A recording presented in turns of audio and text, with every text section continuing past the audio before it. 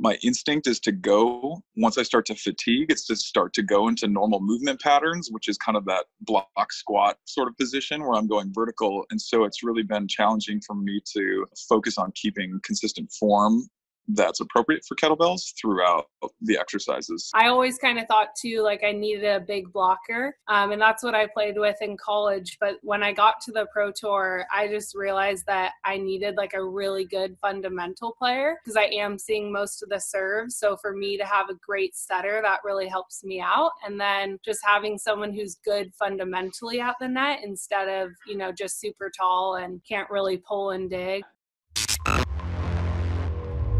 today we are going to have um, some special guests. Of course, Brandon is here. Brandon, he's going to say hello in a second, but we are also inviting Stafford Slick and Katie Spieler. They're going to come on and let you guys know their favorite workouts, what they're doing at home, and I'm really excited. So, Brandon, take it away. Introduce yourself. My name is Brandon Joyner. You guys have been hearing a lot from Mark recently, but I am also a part of Better at Beach uh, and Volley Camp Hermosa. Currently a player as well. Uh, I play professionally on the AVP and also have done some FI IVBs and, and NORCECA. The last decade has really been spent really fine tuning my coaching and teaching. Before I moved out to California, I was a teacher. I taught eighth grade social studies or civics, trying to kind of figure out how I can keep growing as a coach and, and player and see what this sport has to offer.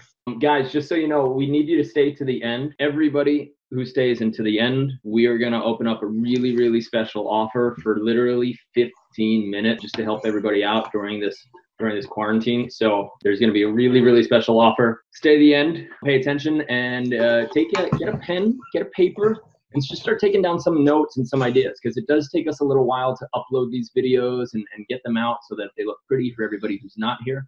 But only you guys who are here live right now are going to get this offer.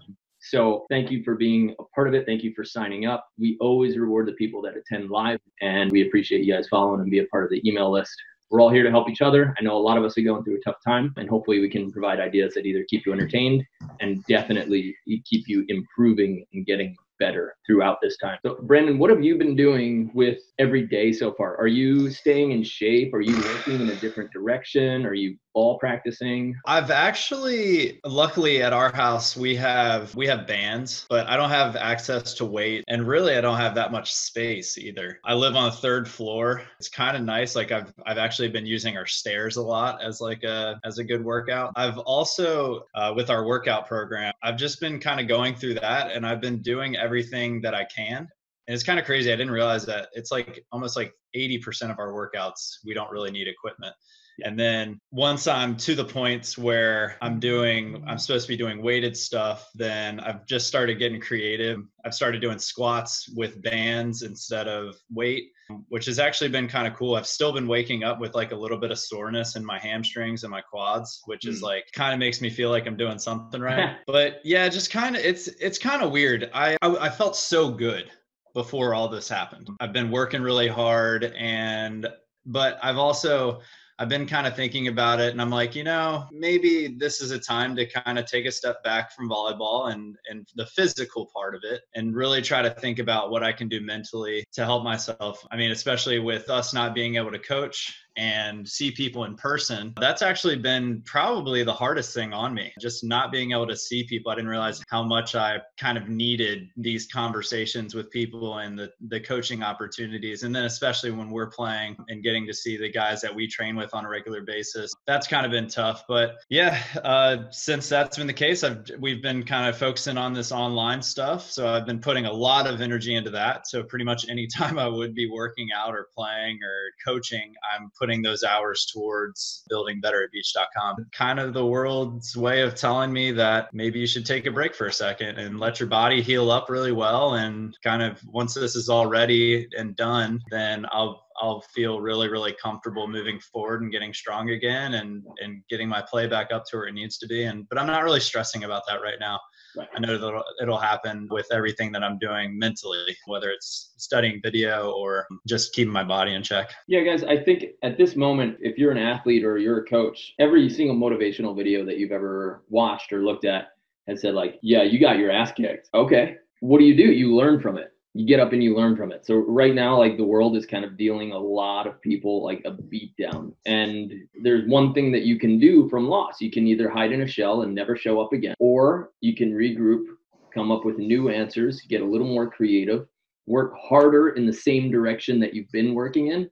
Or if you feel like that that's that just doesn't have a future anymore, pivot and find a new shot. And like that's what we do like in beach volleyball. Okay, you know, I know I needed that swing at match point and I didn't have it in my arsenal. So either I get really good at all of my other swings, or I train so that I have another option in that moment. And right now, all of us are at a place where a lot of us are in a place where we need options and more options in these different moments.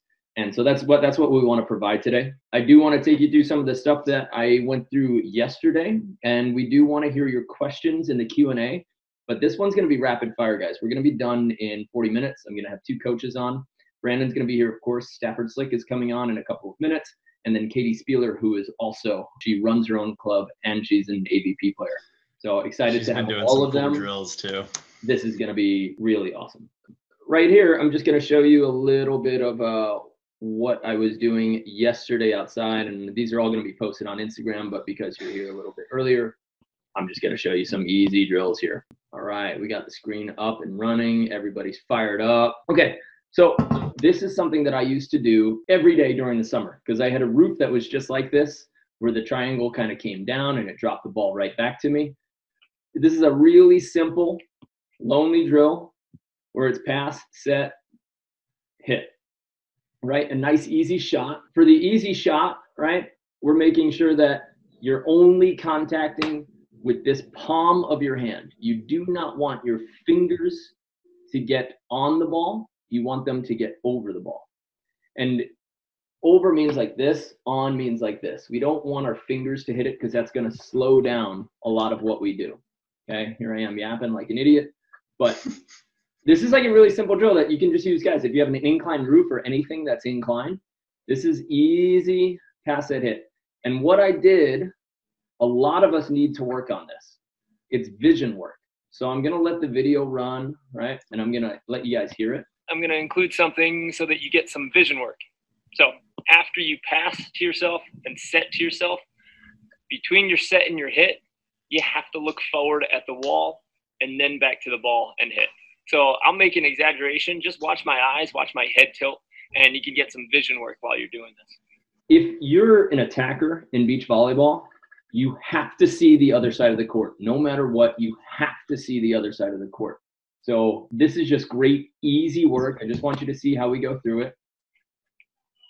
Pass to myself, set to myself, look, find the ball, and then hit. A lot of people during this drill, especially when we're live, a lot of people during this drill make the mistake of setting and looking at the same time, where they'll just put the ball up and they'll look. But you have to get yourself to the ball first. So you have to see the set first, get there, then look, and then get back to the ball with your eyes. Okay. Ideally, you don't look too far up. Ideally, you can keep everything sort of in a peripheral, but I'm giving you an exaggeration from here where I really look down at that wall. Be a sweet idea if you could add a burpee in between the roll. So if you got an angled roof, give it a shot. Burpee between every one. I also like how on the, uh, especially when you add in the jump at the end, Mm-hmm. I'm still being able to focus on the that last right left before you jump. Oh, You know. Oh, yeah. Okay. So talk me through that, Brandon. Go ahead. So like especially with drills like this where especially if you're thinking about making that contact that Mark was saying and you're and you're so you're so worried about getting the ball, then a lot of times we can lose focus on some of the smaller things. So like I like that I mean you're getting a chance to make a really good pass where you're shuffling to that ball and then you're making a good set and then you're getting those last two steps. So right before you go to jump every single time you're having a pretty a pretty good right left. So I think that's something that's kind of underutilized, especially in drills where it's by yourself. So here's what I'm talking about in this video, and, and Brandon, you should kind of you can kind of talk us through it. But I'm teaching how to bump set with spin. So Brandon, I'm going to leave it up to you to tell us like why and when we would bump set with spin. So actually, I I kind of like this conversation, and I might go a completely different way that Mark would normally go. But especially when whenever you're thinking about passing you have to rely on two things. One technique and then two is your touch. When whenever you're thinking about touch touch is when you're going to have to add something different to that ball. We see it a lot like mark has a really really good side spin serve. If you don't know how to pass it it's terrible to pass. It makes you feel like an idiot. Something that you really have to think about is you have to think about either taking the spin away from this ball or adding spin to it to get it to go to where your target is. So a lot of times you can use it in that sense if you're fighting a ball that has a lot of spin or if you're also playing in the wind. I think whenever you're playing in the wind, you might have to think about either passing or setting with some spin on the ball and you kind of have to get creative. So especially with a drill like this, where you're trying to focus on really getting underneath that ball and then trying to find kind of a similar trajectory, but adding some kind of spin. Uh, I would think you're trying to fight off something that is coming at you, whether it's a serve or a hit that has weird spin on it, or if you're fighting some form of conditions.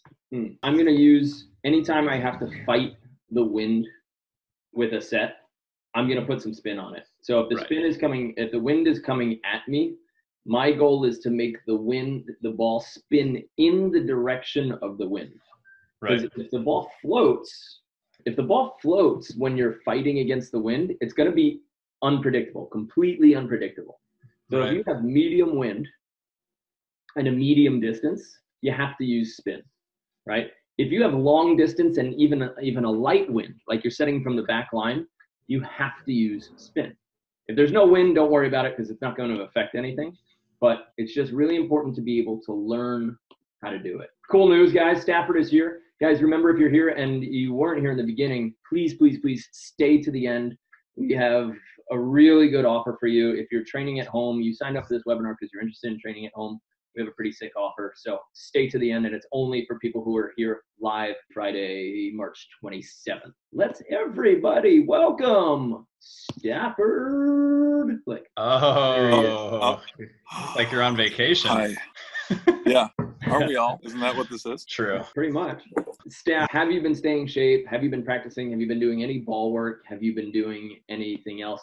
And can uh, can you tell me your your Instagram handle so I could put it in the chat? It's at uh, it's super complicated. It's at Stafford Slick. If you want to follow Stafford, he's not too crazy, but he talks a lot of smack, so it's pretty entertaining on Instagram. And he is a gentle, like gentle dad smack. And he flexes a lot, so you always get some good pictures. Yeah, um, you got to know where the cameras are. Exactly. So, Staff, what are you doing right now to stay in shape? I mean, at this point, everyone's just kind of scrambling to figure out how they can keep themselves kind of in check during this uncertain time. We have been fortunate enough, I guess I've been fortunate enough to be a part of the USA national team right now. And so, through that, we have a trainer and have had access to kind of supermarket sweeps. So, ran into the gym before everything shut down and plucked out some, yeah, plucked out some kettlebells and some med balls and stuff. So really, right now, it's a lot of dynamic, lightweight, but explosive reps and just kind of keeping the body moving to keep it from rusting out. Can you explain, just like in, in super layman terms, what do you mean by dynamic and explosive? I would say anything that challenges you to move quickly. For me, that is, for explosive at least, doing kettlebell swings, focusing on good hip hinge and explosive power through the hips. What do you mean by hip hinge?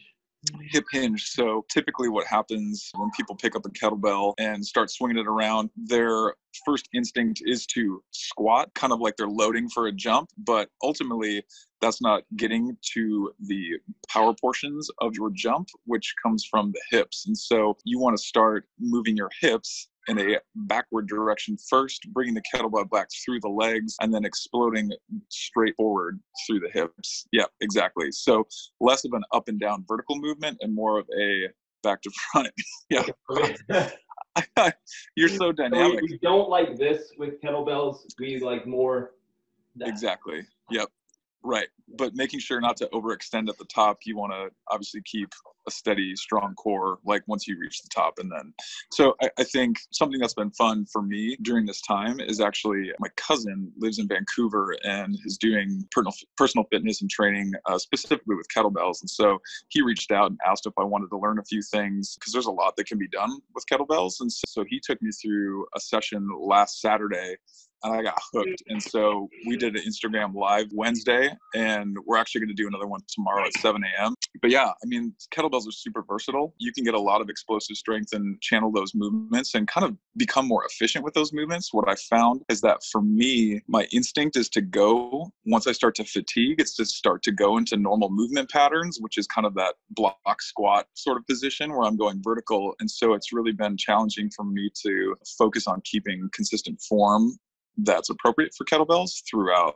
the exercises. So yeah, it's been it's been cool. What if people don't have a kettlebell? Grab a breakfast burrito and watch. No. So anything that we're going to be doing, uh, you could supplement with a dumbbell at home if you have one, or trying to think what else you could do. Yeah. I guess a water bottle, or fill a fill, fill a bucket with sand, or a small cat. Yeah, exactly. small cat.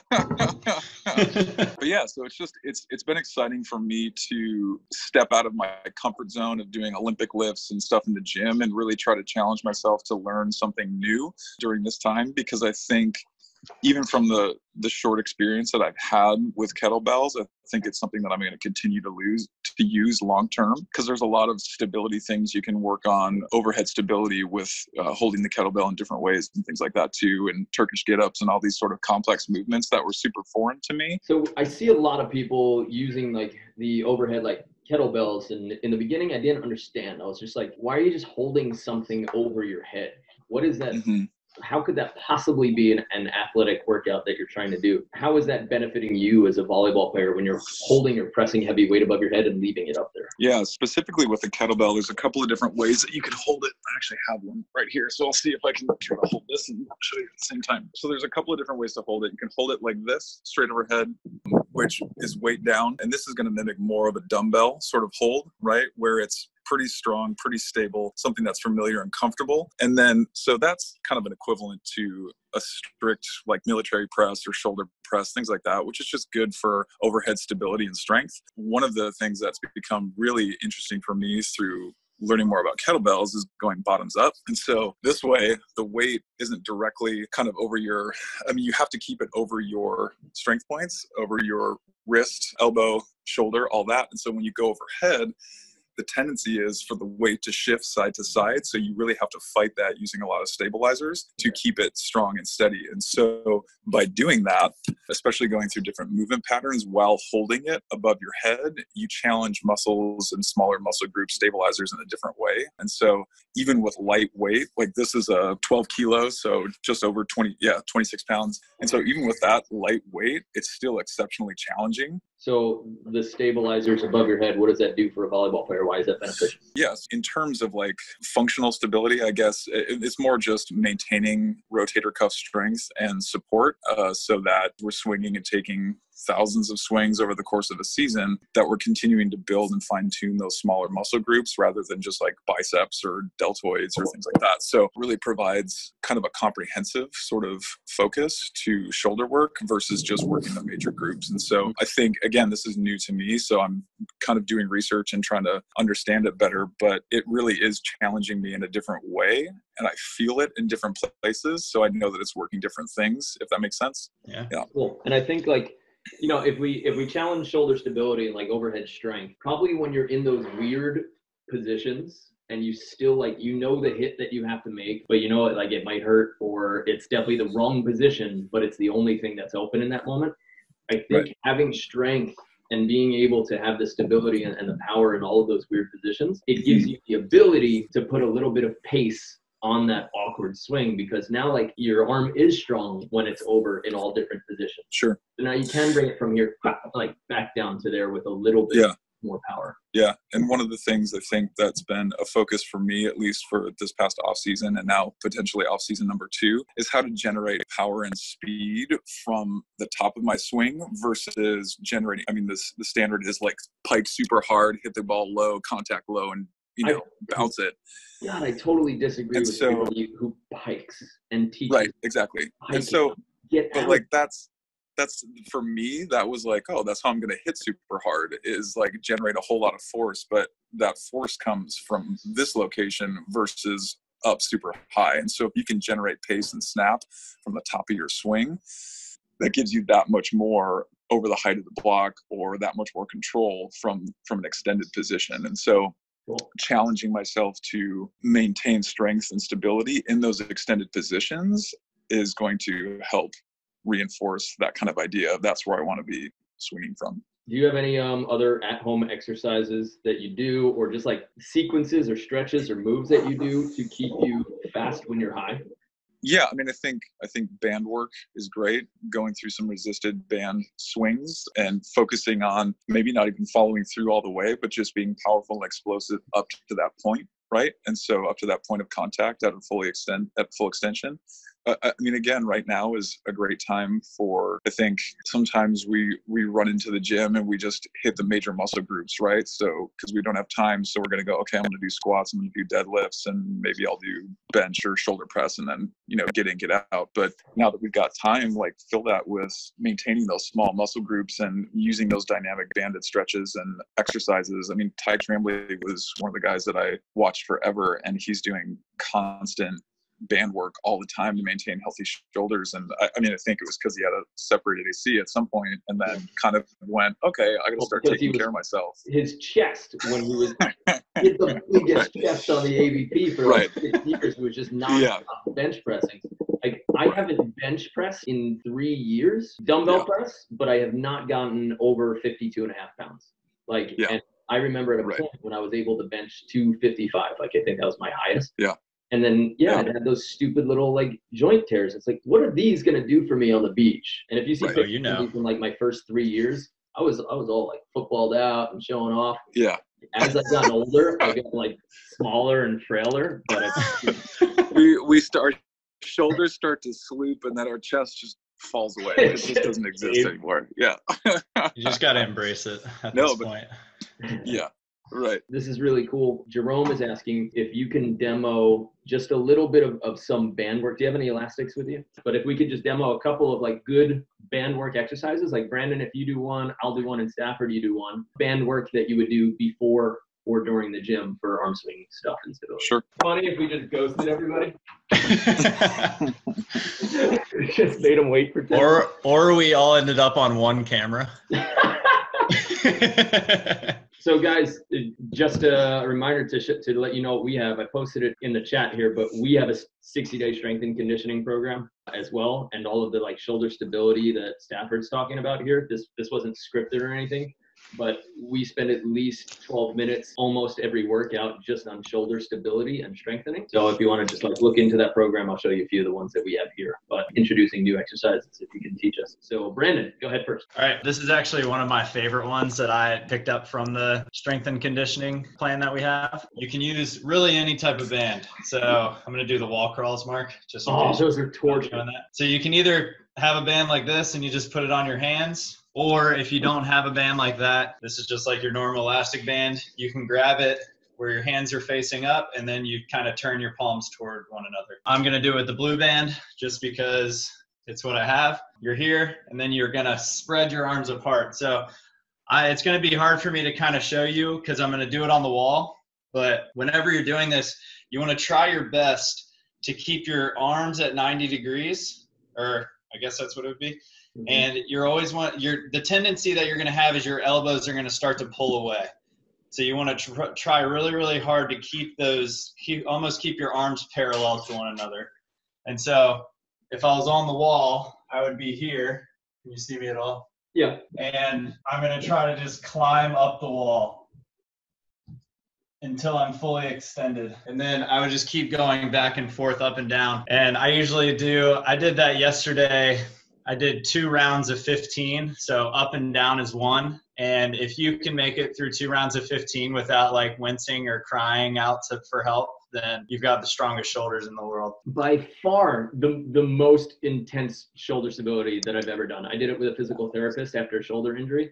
And after like seven trips, I was toast. What about you, Stafford? You're up. One of the things that I've been doing kind of with respect to that overhead stability as reaching to full extension. Hold on, wrap it up around here. Just with the overhead stability is getting your band behind you and then really just working through pulsing movements this way, right? Kind of going overhead and even into full like movements this way. I feel like a lot of times people are going here and going all the way through which I feel is really unnecessary. I think all the power I want to generate is coming from here to here. So I want to pulse through these positions and then go through movements up to this point, staying strong and stable through the core. Again, this is more of a me that would be more of a like pre-match pre-practice that's not necessarily like a burnout but it's been challenging and difficult for me because i'm so used to kind of wanting to drive all the way through to a full body versus strengthening that shoulder in that full extension position I love that, that you're also learning to get away from this pike position, which I think everybody like mentally they see like, oh, the ball goes down, so my body has to bring it down. Instead of like if we look at golfers, right? All of the like force should go into the ground. Like you should be swinging down to generate speed, and then the face of the club makes it go up. And like I think about volleyball, the swing really similarly. Like I'm gonna swing fast up and like barely forward, but I'm never gonna swing down or tug down. And only the angle of my hand makes the ball go down. But like even if I'm Right. still on my way up, that ball's still gonna go down if I hit the right part of the ball. So Right. I've been focusing on staying high, just like you're talking about, but and not trying to bring things down. That's all just follow through. Like my main mm-hmm. speed generation, and, and I'm happy we're kind of on the same page there, is that the speed generation is up here, not here. And I see people get their Right. hand and then try to like more acceleration happens here than actually happens before contact. hmm right And they all net because they're like 5'10 and they're trying to bounce. Right. See you showing off on an open net. Yeah. I blame Well, you then- for people's uh, swing. People want speed, you know, I blame then all too. like the 5'10 people would, would swing the right way. Right. They see one bounce on the 10 foot line and they all want to swing down. yeah At least it's- Stafford does it in games too. Yeah. Not to warm-ups. right, right. Yeah, I save it for the games. Yeah, I think it's just something interesting that you said, or kind of the analogy towards golf. Any power that you're generating for the ball to go is happening before you contact the ball. And so, if we think about that similar position, right, as an attacker, we want to generate that power before we contact the ball, not we're piking and like grunting super hard, like after, you know what I mean? Like, we want that speed and quick arm whip to happen at the top of our swing versus trying to compact and get super gnarly at the end. Stafford, we'd Yeah. love if you uh, if you hung out for a few more minutes with us. Uh, we only got like nine more minutes. Uh, if you want to hang out, cool. If you want to go take care of the fam, awesome. But I'm gonna give the show over to Katie. And thank you so much for coming, dude. And Yeah, man. Sharing all that knowledge. That's I think people are finding real value, guys. Like if you got something good from Stafford, please just let me know in the in the chat. Like let us know if you got it, and then let us know if you want us to bring him back for some more knowledge that he's picking up. thumbs up or thumbs down. Just like- you want us to like bring him back, Like um, Caesar, or it's gonna just yeah, just is it here?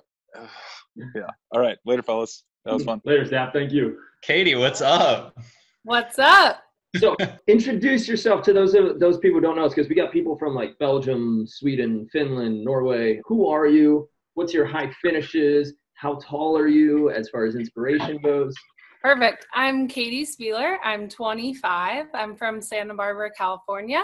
I played at University of Hawaii. I was a two tall, two-time All-American there, and I am five five. I think that's the shortest player on tour. I started a beach volleyball club in Santa Barbara, in my hometown, but I live in Hermosa, so I commute back and forth. So I train in Hermosa, and then I coach in Santa Barbara. So I travel kind of a lot, but it's great. And so yeah, I grew up playing and I was born into like a huge volleyball family and I'm actually back at my parents' house. And so I'm having my dad reconstruct the net that I made him construct for me when I was little, but he still has to put up the net part. So we just did a little ribbon here. But you can set up a like fake net or with a ribbon and tape really easily if you just have like two posts or poles. So that's what I've been doing even in Hermosa right now since the nets are down. So I was just gonna share a few little drills you can do just with a ribbon. And if you don't have something like this, you can just do it over like an invisible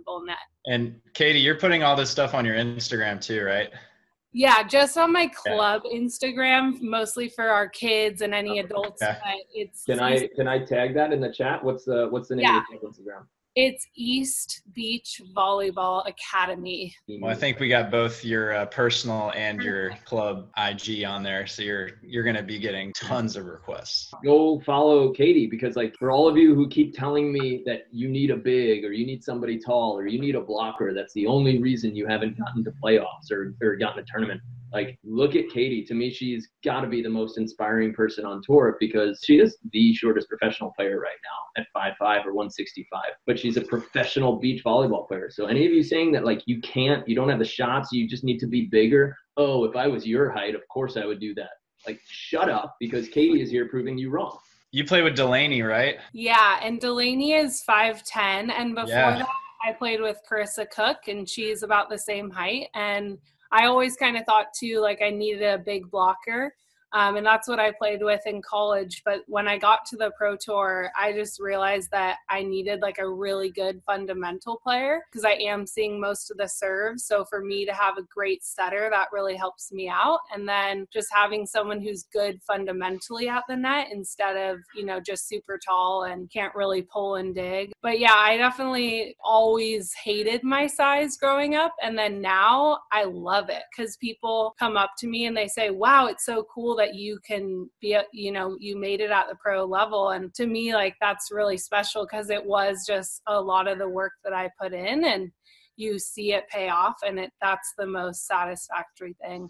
That's awesome. And Yeah. plane rides are are pretty. Yeah, exactly. Ryan, Ryan That's that's great. It's a win-win.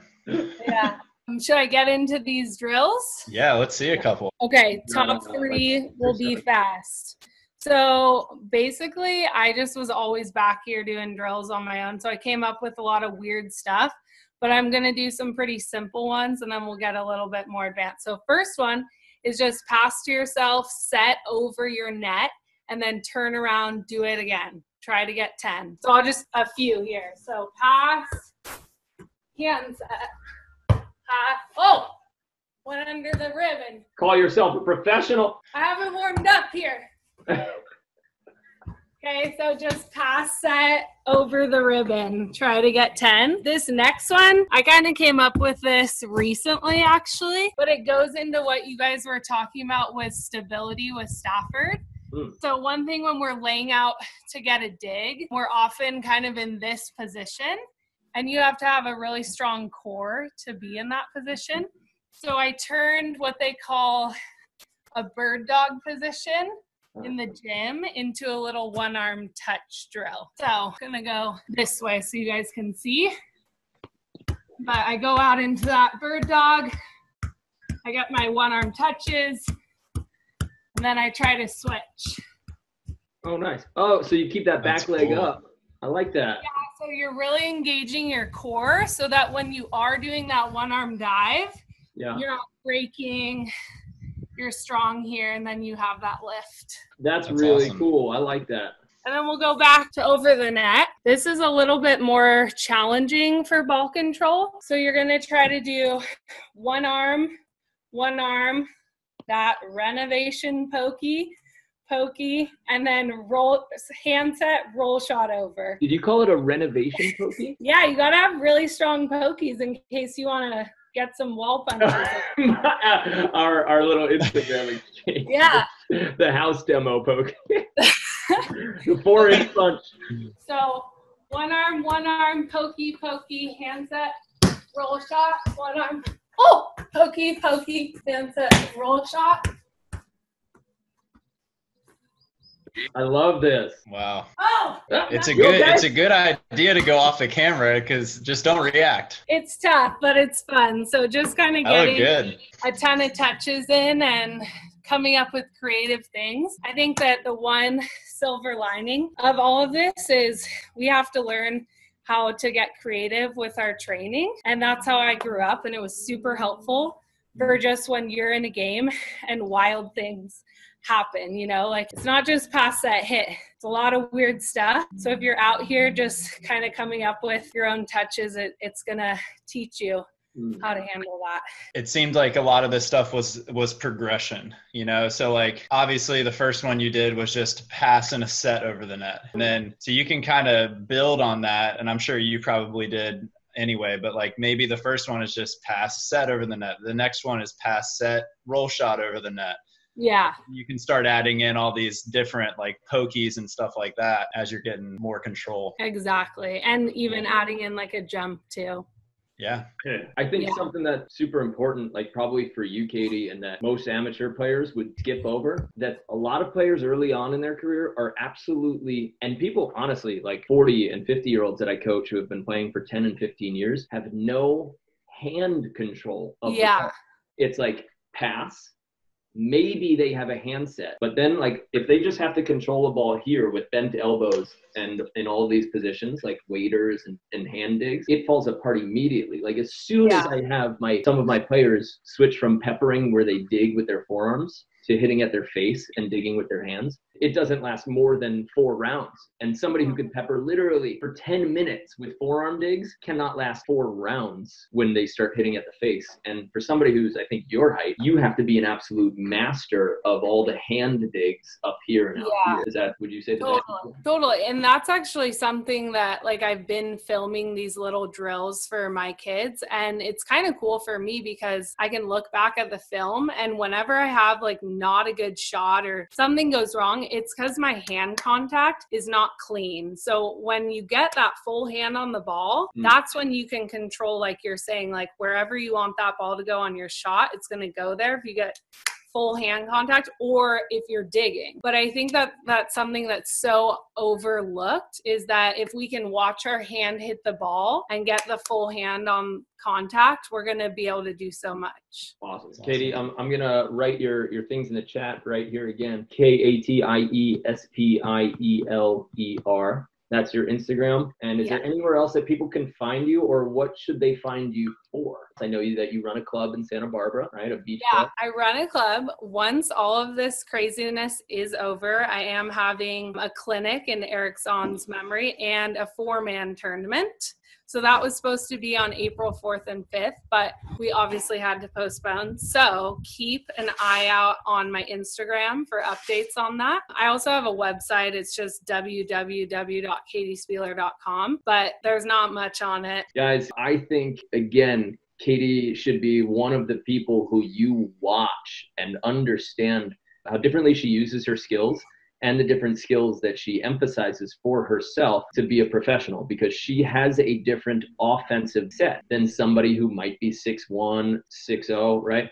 She's somebody who is going to use different shots, probably a lot of pokey. I know a lot of pokies, and she's able to win and create points because she has embraced her own body and her own playing style and didn't have to look at somebody who was six foot and say, I need to play like them. Said, I'm going to be me to be great, very like Adrian Carambula, like be you to be great. And I think Katie does an excellent job of that. And she's definitely an inspiration for, should be an inspiration for everybody as far as selecting your own offense and being effective no matter what. Hell yeah. Short girls for the win. Thank you. Tom. Yeah. like All right. Well, thanks so much, Mark and Brandon. You guys are awesome. And Volley Camp. yeah Later. we'll see you soon katie thanks Okay, for coming on Yeah.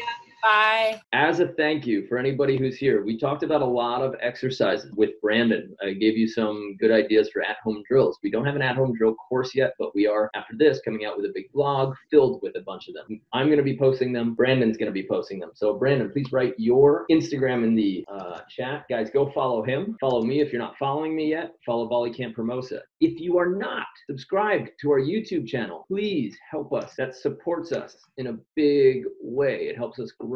As a huge thank you for coming, we have a 60 day strength and conditioning course. Since you are here live with us right now for the next 15 minutes, Ooh. there's a 15 minute window. Guys, it's half price. whoa 15 minute half price. I'm going to post the link. We already changed it. Posting the link right here. It gives you all of the sh- shoulder stability exercises.